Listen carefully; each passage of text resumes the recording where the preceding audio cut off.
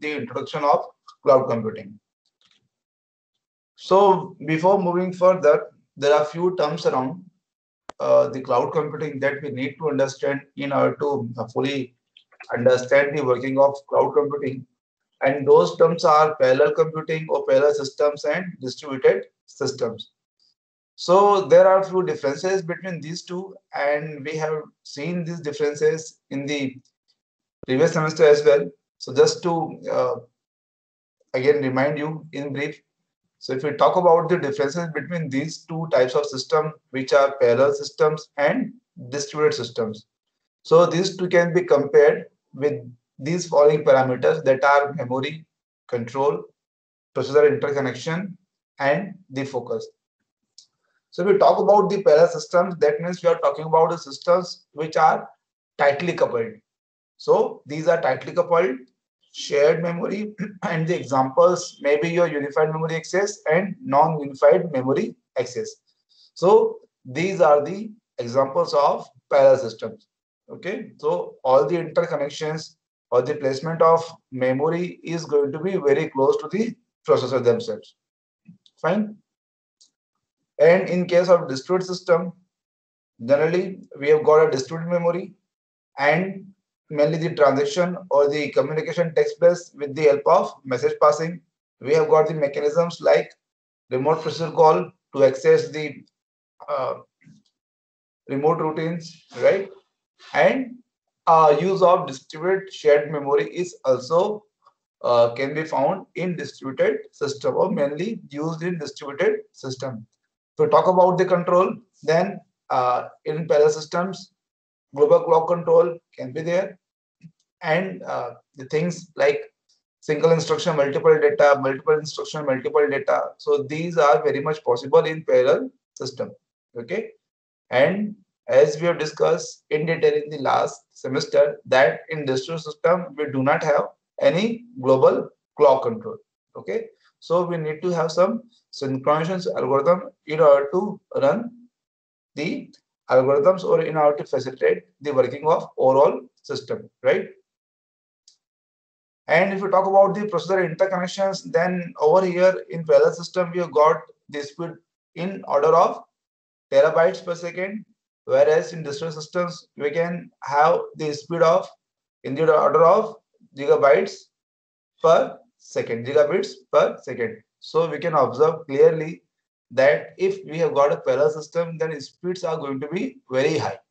And in this case, the arrangements may be bus, mesh, tree, mesh of tree, and hypercube, right? So these interconnections as well we have seen in detail.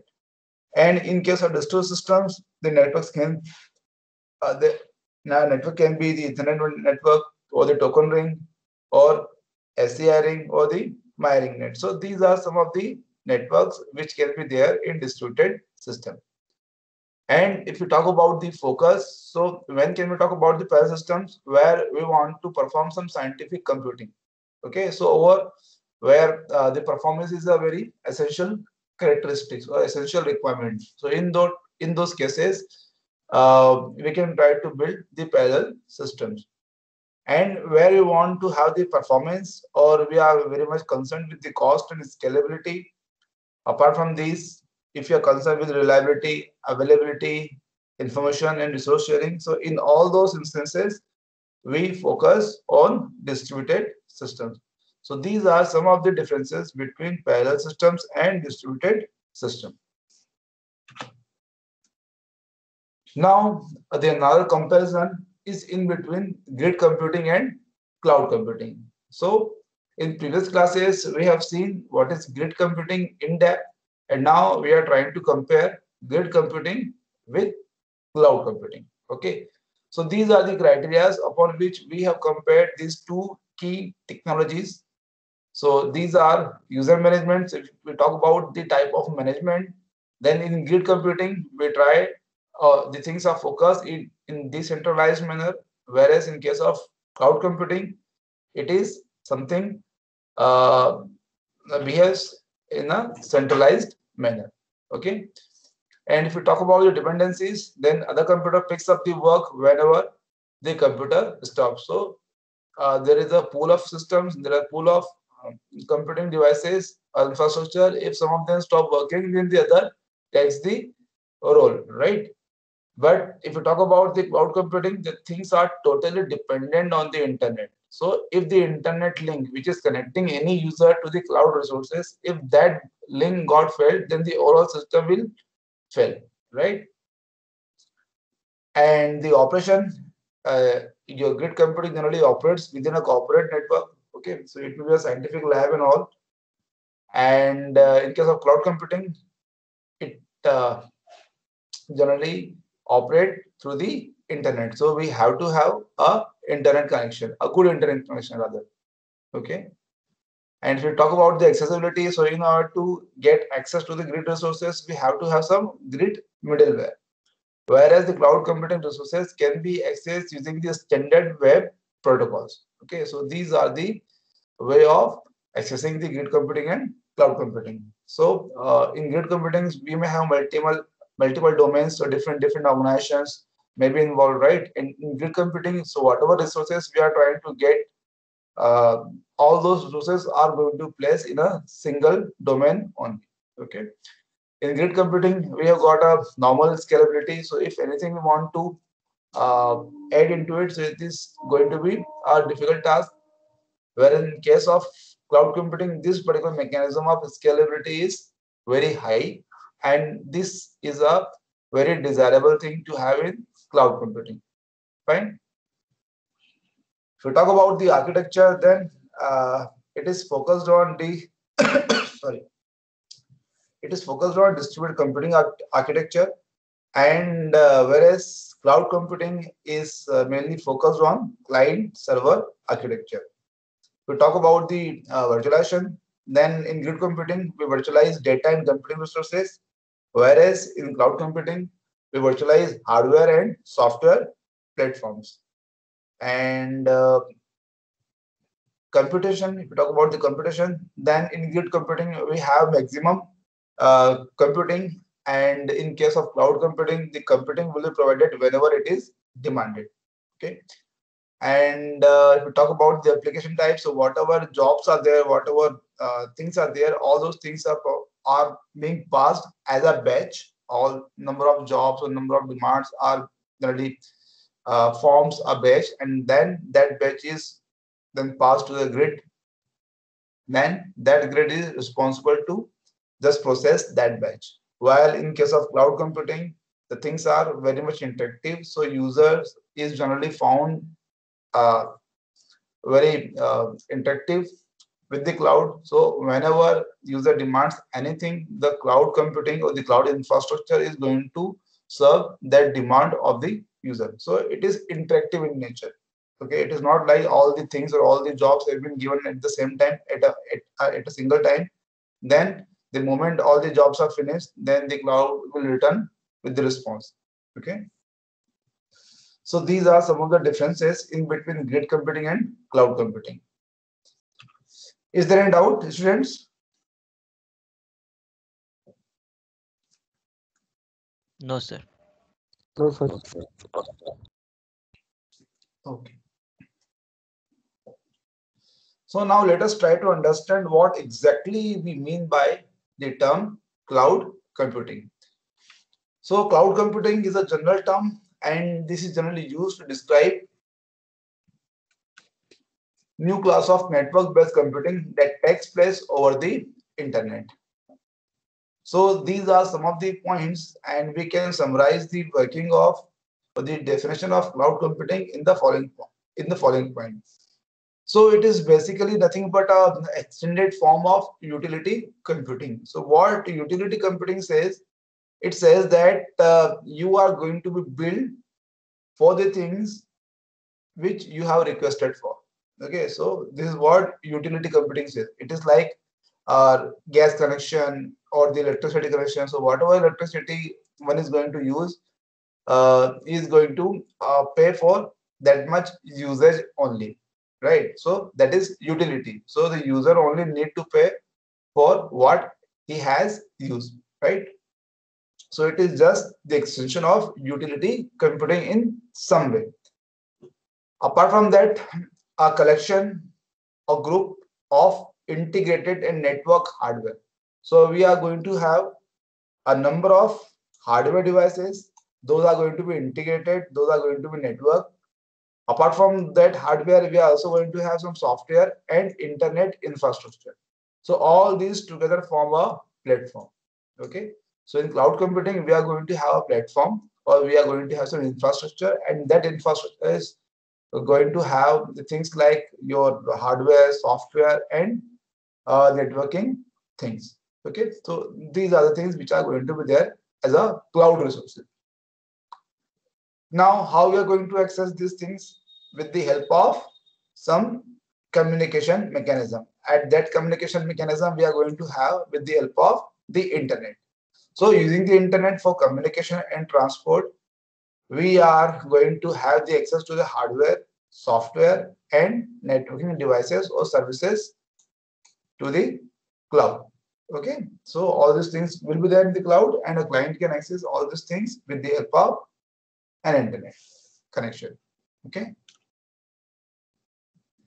Now, uh, all these things, in the moment all these things are placed at one place, it is the job of the cloud computing platform that uh, it hides all the complexity. So this has been the fundamental uh, characteristics of any cloud computing provider, any cloud computing infrastructure that it generally hides the complexity. Okay, so no matter how many resources have been played in the cloud infrastructure, how they have been connected, how they are going to manage, the user is not going to worry at all about all those complexity. Okay, so user will only just place a request and will get a response. Okay, so our interface, some sort of graphical interface will be there or some APIs will be there. So user is going to use those APIs or interface in order to get access to the resources. Okay, so how exactly those resources are being managed in the background, the user doesn't worry about, that doesn't, doesn't need to worry about that. Fine.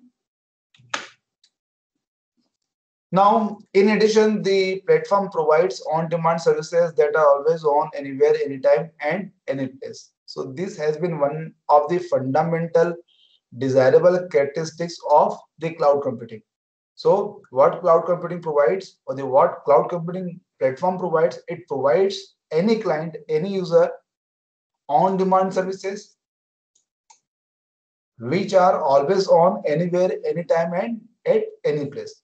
Okay, so whatever infrastructure or whatever things are there in the infrastructure, all those things can be accessed anytime, whenever any user want and at any time, at any place. Okay, for, for example, if a user have uh, stored certain data in a cloud computing platform, let's say in Google someone has stored or in Amazon someone has stored their data, then it may possible that user want to get access to that data in the early morning or maybe let's say uh, in the late late night, right? So a user must be able to get access to that data. And it may possible that user want to get access to the data within India or maybe outside India right? So a user must be able to access the data, doesn't matter from where that user is trying to get access to that data, right? So time should not be the constraint, place should not be the constraint, and again, at uh, all the time, the resources have to be available. So these are some of the things which we generally get whenever we talk about cloud computing technologies. Fine. And as discussed that uh, in this particular computing paradigm a user generally pays for whatever he has used or pay for use sort of strategy is generally being followed in cloud computing technology. So pay for use and as needed. And apart from that it also have the elasticity property. Okay? So it is also elastic in nature. And what do you mean by elastic?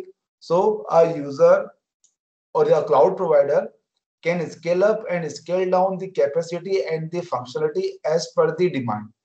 Fine. So if a cloud uh, infrastructure is there, and let us say at that particular time, 1 million users are using that cloud computing platform, and cloud provider is sensing that their resources is coming short, right? So what the cloud infrastructure provider can do, they can scale up their capacity or their functionality. At the same time, if there is uh, less demand of those infrastructure, cloud infrastructure, then cloud provider can also cut down the resources in the cloud side. So as per the need, as per the demand, the cloud provider can also scale up or scale down the cloud resources. Okay. So it is also elastic in nature.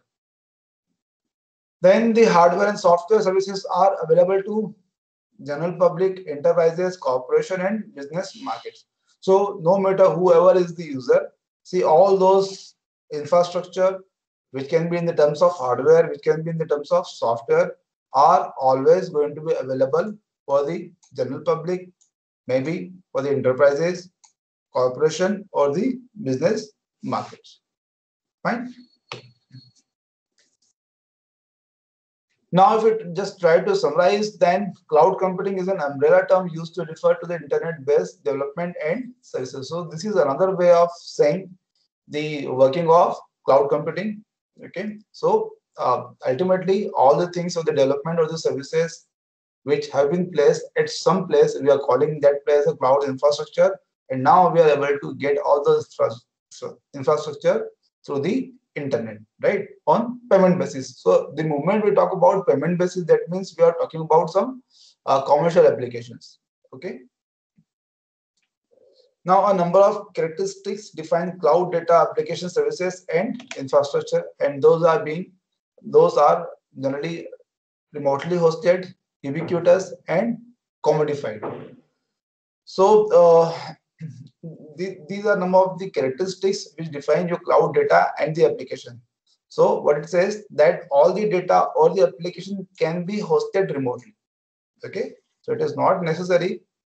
Uh, nevertheless, that the data and the services are not going to be hosted on the user's system. Rather, they are going to be hosted on the remote system or the remote infrastructure. Fine. Apart from that, uh, uh, it doesn't matter from which device any user is trying to get access to the cloud resources. Still, all the cloud resources will be available to the user. Okay, so ubiquitous means uh, the accessing device can be anything. User can access with a mobile, user can access with a desktop, with a laptop, with a workstation, okay so it is up to the user they just need to ensure that they've got minimum things available with them in order to access the data the services or the infrastructure or the cloud. Okay? So and all those things are let us say a minimum uh, computing resource has to be there in the client uh, device right? Any internet service has to be available in the client side. So these are some of the things which has to be there. And it doesn't matter at all that what sort of devices they are using to get access to the cloud resources still they will be able to access their resources okay? So ubiquity is there. Then commodified. So the result is a utility computing model. So as we have talked about earlier talked about it earlier that uh, uh, the user is going to pay only for the resources which he or she has used, right? So it is uh, very much uh, like your gas and electricity services.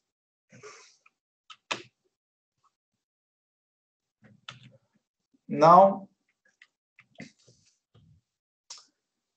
these are the things which are going to be there uh, with the cloud provider, right? So these are the cloud this is the cloud infrastructure and in the cloud infrastructure our user may find number of applications servers storage computer networks.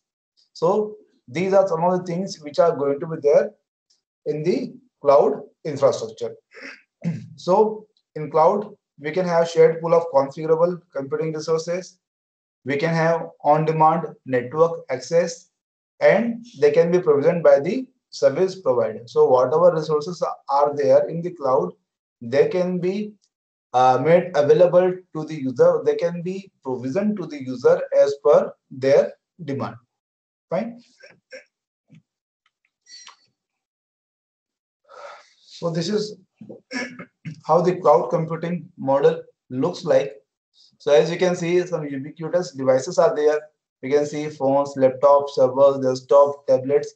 So with any of these devices, a user can access this cloud computing infrastructure.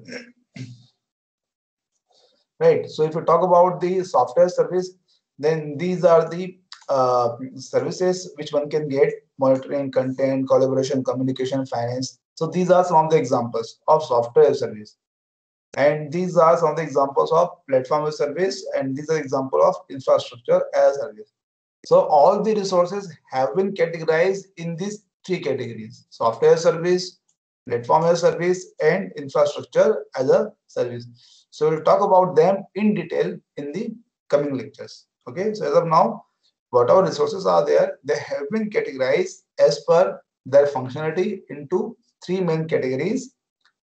I, um, infrastructure as a service, platform as a service, and software as a service. Fine. Now, if you talk about the standard definition of cloud computing, then the NIST has defined a cloud computing in this uh, in this way. So according to them, cloud computing is a model for enabling ubiquitous, convenient, on-demand network access to a shared pool of configurable computing resources. And these resources can be network, servers, storage, applications, and services. That can be provisioned, that can be rapidly provisioned and released with minimal management effort or service provider interaction. Okay. So, them, it is a model which enables multiple devices, or you can say enabling ubiquitous, convenient, and on-demand network access to the shared pool of configurable computing resources. So in the cloud, whatever resources are there, they can be configured and they can be shared. Okay, and this can be uh, this resource can be network, servers, storage, application, and services. And of course, that can be rapidly provisioned in other words, you can say that can be rapidly made available to the client. And this has to be done with the minimal management effort or service provider interaction. So it should not be like if some client or user is trying to get access to the cloud resources. So a cloud has to spend, let us say, half an hour to just get things, uh, things done, whatever he or she was in the, uh, he or she wanted to have, right? So all the management effort has to be minimal. So this is how the NIST has defined cloud computing. Now there are some of the uh, characteristics uh, which are there with the cloud computing. Uh, some of them are the common characteristics and some of them are the essential characteristics. So these are the common characteristics, massive scale, homogeneity, virtualization, low-cost software, resilient computing, geographic distribution, service orientation, advanced security. And if we talk about the essential characteristics, then those are going to be on-demand self-service, broad network access, resource pooling, rapid elasticity, and measured service. So uh, many of them we already know, right? The only new thing where uh, which uh, I should explain to you is the resilient computing. So resilient computing means it may possible that whatever uh, resources which in which we are interested in, so those resources are not available or somehow they are not uh, functioning. So in that case, a user or a client uh, should be uh, provided the access to all those resources. So if the main services are down, then how the uh, services from the mirrored services are going to be provided. So what I'm trying to say over here in cloud computing, let us say these are some of the prime services of uh, prime services, right? And in case if this prime services gets failed or get crashed, then a mechanism has to be there in the cloud infrastructure which will provide access to the this mirror this mirrored infrastructure to the client okay so this uh, transfer between the primary one to the mirrored one should not be a complex one. Okay. So a resilient, a notion of resilient computing has to be there.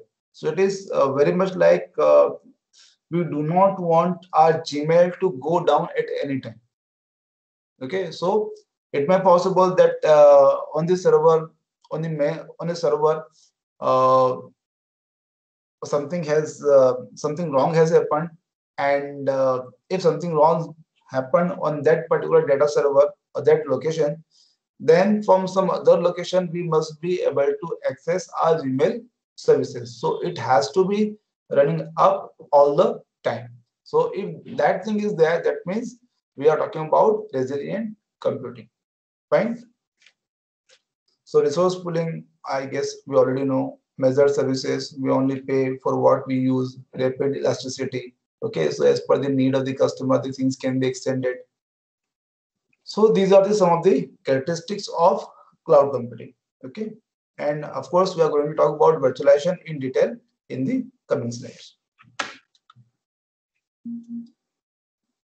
So uh, these are the three cloud computing service models, service delivery models, okay, which we just uh, discussed in brief in the cloud computing model. So the uh, at the bottom we have got infrastructure service where all the main resources are generally placed. Okay, so RAIN processing, storage, network capacity, and computing resources are going to be there at this particular layer, which is called as a infrastructure as a service.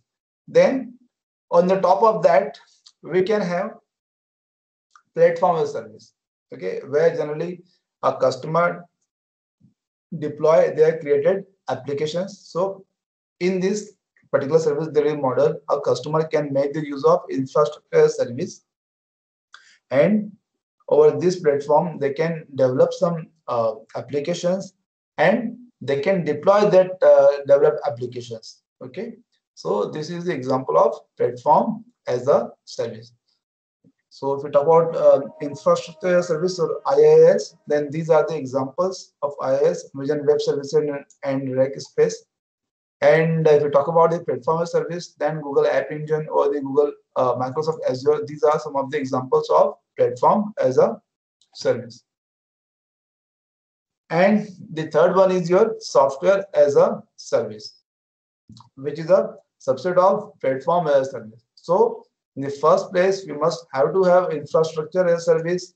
Then we have to have platform service. Only then we can have software as a service. Okay. So uh, in software service, we generally have the applications or a user generally has the access to the applications. For example, Salesforce CRM or Lotus Live or the Gmails and all. So all these are nothing but the examples of software as a service where a customer is uh, able to access these services as per their need. Okay. Now, uh, this how these three can be differentiated in one word.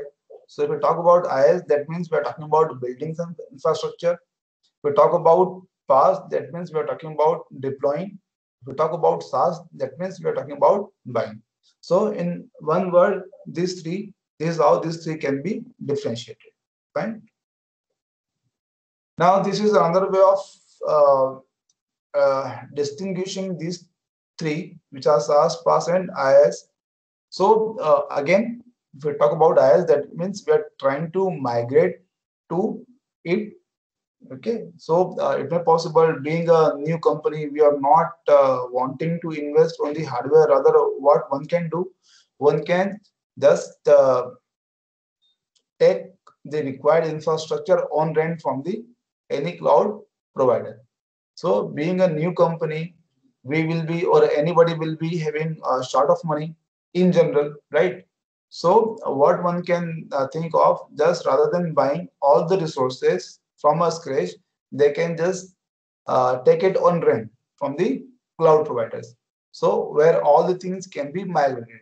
So in case of infrastructure as a service, people generally try to migrate their need of resources to the cloud. Okay, so the things like caching, legacy, networking, security, file, and all those things are going to be there in the cloud.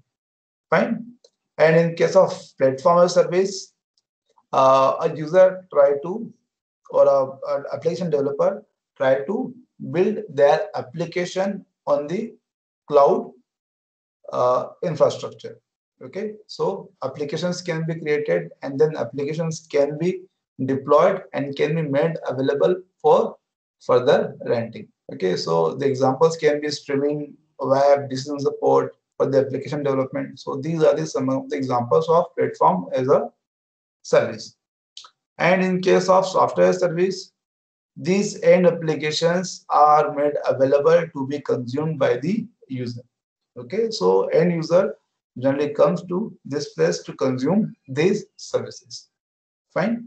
So these are the uh, another way of looking uh, another way of differentiating these three service delivery models. Fine.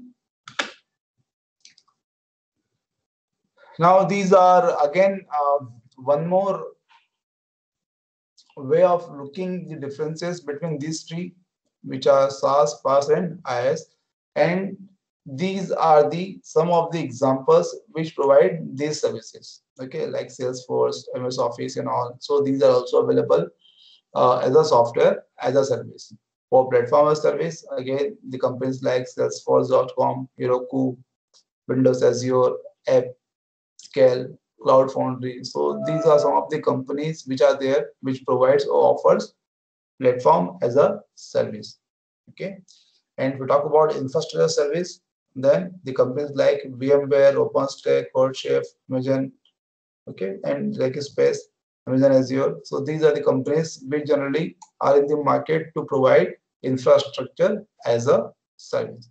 Okay, so it generally can be private or public, and high utilization of infrastructure assets is generally a target in uh, IaaS and of course the cost of operations is going to be lower in this case and faster provisioning is expected at this so these, these are some of the desirable desirable things regarding infrastructure as a service.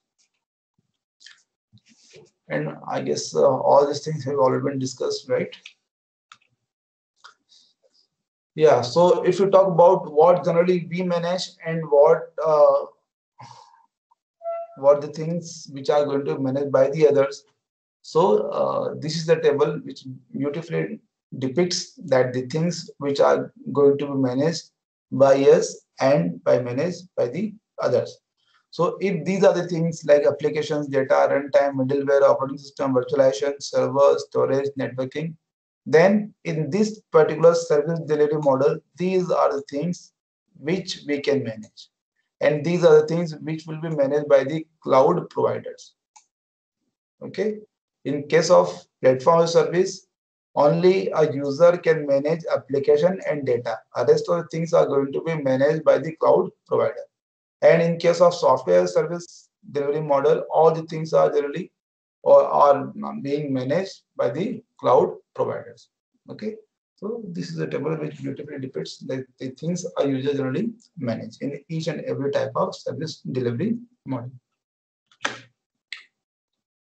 Again, these are some of the examples. One more thing has been added this time, which is backend as a service. So in this case, all the databases have also been considered as a service. So the things like Firebase, SkyGear, and Parse Server, all these things can also be considered or can also be made available or provisioned as a service to the user.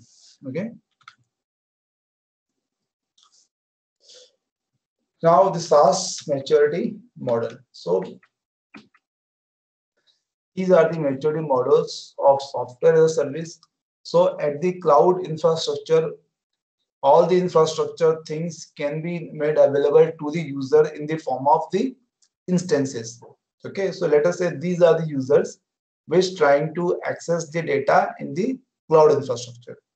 So in the first possibility, all the users get access to the existing infrastructure at the cloud in different different instances okay so different instance will be created to serve the purpose of each and every tenant. Fine. And in the second variation, all the instances or a single instance is generally configured as per the need of each and every tenant. Okay, no different variations of instance is going to be created.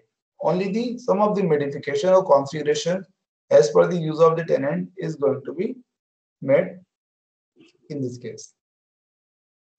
And in the third case, only a single instance is going to be shared among the multiple tenant. And in the fourth one, we have kept a tenant load balancer, which will look after all the load which is uh, going to be there on all the instances. So these this is how uh, this SaaS maturity model looks like. So all the instances uh, can be managed in these four varieties. Now different cloud computing layers. So this time the uh, infrastructure have been divided into uh, two categories, this storage platform and the server platform. So the example of server platforms can be 3 Tera, EC2, SliceHost, GoGrid, RightScale, you know, and uh, if you talk about the storage platform, then the examples can be Amazon S3, Dell, Apple, and many more. So the things can be categorized into two types, the server platform or the, storage platform. Okay. So it is up to the need or the way the user will try to look into it. And the application platforms can be these and the uh, application service can be these business Zoho, Cisco, Salesforce, IBM, Google Apps. Okay. So this is the uh, detailed uh, slide which uh, which depicts the things which are application focused and which are infrastructure focused. So if you talk about the infrastructure focus, then the platform, storage, and hosting are going to be there. And if you talk about the application focus, then the services applications and the development. So in this case, uh, the things which were there uh, in platform as service will also come in picture. Okay. So this is another way of categorizing the cloud computing services. So again, uh, we talk about the basic characteristics, then again, no need to know uh, how exactly the underlying hardware of the infrastructure is going to manage, right? And user is going to get the flexibility and the elasticity. Apart from that, uh, uh, user is going to pay as much as use and needed. So the resources are always going to be up, and this uh, all those resources can be accessed from anywhere and from any place, right? So these are the, some of the things which I already discussed. And uh, in order to have this software service functionality, we need to have infrastructure service and platform as a service in the first place. Only then we can think about software as a service. So we have seen that software as service is nothing but a subset of platform as a service, which in turn is also a subset of platform as a uh, sorry infrastructure as a service, right? So uh, this is what I'm going to discuss in this class. So in the next class, we are going to see the concept of virtualization. Okay. Is there any doubt, any question till now? No, sir. Okay.